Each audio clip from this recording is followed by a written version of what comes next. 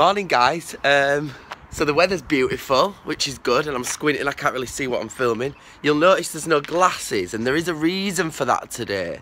So basically, a couple of years ago, I started running quite a lot. Um, I was training to do the Great North Run in Newcastle. However, uh, I got ill through that. I'd run a couple of 10Ks in Manchester. I'd also run a couple of 10Ks in Leeds, and uh, I was getting pretty good and, and getting pretty used to running.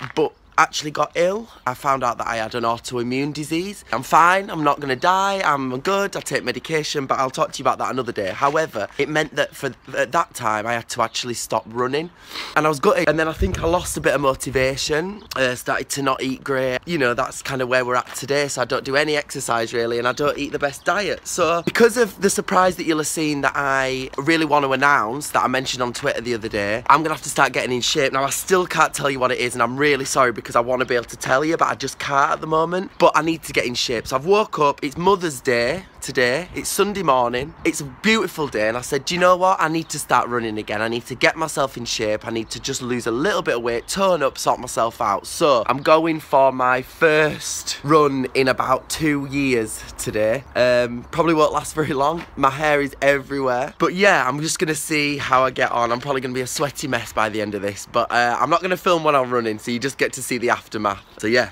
here goes, let's go. Oh, I'm back, I've done it about 20 minutes and I'm fucked. I'm literally screwed over. I look like a tomato. But you know what? As much as I feel like this, it felt so good to run again. This might have to be a regular thing now. Run number one, done. Do not fear guys, the glasses are back. They didn't go for long because I can't be running cause with them on because they'll be going like this which is not fun. Uh, so I am showered, I'm dressed, Got my Vans on today. I've not worn these Vans for, oh, can't see them. I've not actually worn these Vans for a while, so I thought I'd put them on today. I literally can't believe the weather's so nice. It's just basically like summer. So yeah, even though that run killed me, uh, I think I'm gonna keep doing it because I really enjoyed it actually. It's just having the motivation, I suppose. Keep giving me a kick up the ass and telling me to do it, please. Now we're just, uh, well, I say we, I am just gonna take my mum to um, have a coffee. It's a little place called Salts Mill, and it's an old mill near where we live. It's like now being converted now, so it's got like shops in it. It's got a really nice coffee shop, a gallery. Um, it's got a couple of other bits of they do events and stuff there, but it's just a dead nice place to go and sit and have a coffee. Might be able to show you a little bit in there when we're there if they'll let me film. Sometimes they can be a bit funny about those things, but we'll see what happens. And then we're gonna go to a pub uh, for some food uh, that I booked yesterday, uh, just to say thank you to my mum for being the best mum in the world. Okay, so let's go and get coffee. So this is Salts Mill. Stand well say standard mill it's really nice inside but let's go have a look around and we'll see what's in here.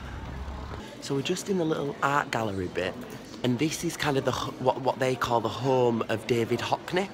Um, so David Hockney if you don't know uh, and you should know but if you don't know David Hockney was a painter well an artist uh, that was from Bradford, or in Bradford, hence why this is kind of the home of David Hockney.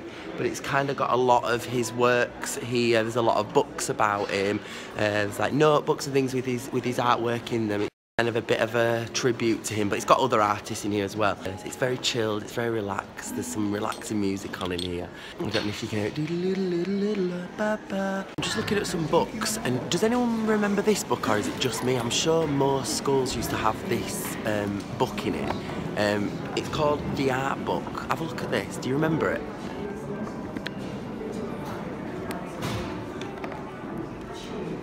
I'm sure every art department in secondary school used to have that book. It's a long time since I was at school, but I'm sure you must remember that book. So you might not remember the book, but you've got to remember these, these little grey things with uh, a little tool on the end, and you'd, you'd do like little carvings in the, it was called lino cutting.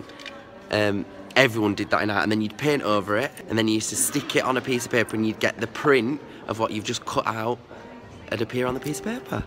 So we've had a coffee, but I didn't actually film anything in there just because it was a little bit quiet. And as much as people probably think I'm ridiculous walking around with my camera now, people think you're even more ridiculous when it's quiet. So yeah, when we're done in here, we will be heading home and then we'll be going up to a lovely pub near where we live uh, for some food to celebrate Mum Mummy's Day. That's Salts Mill. Hope you enjoyed. We've just got to a really nice pub called the Carvely Arms. It's a vintage gin that is my mum on Mother's Day. We're going to order from the special Mother's Day menu, which looks really good. Because I'm special.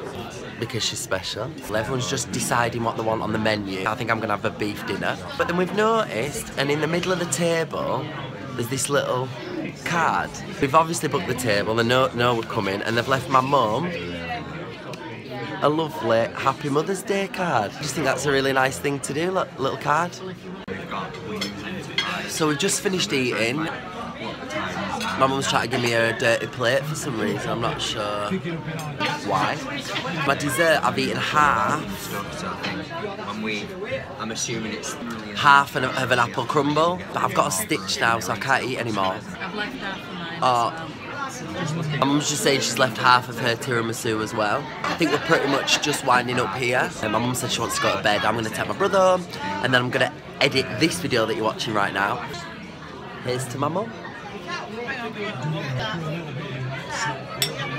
Cheers.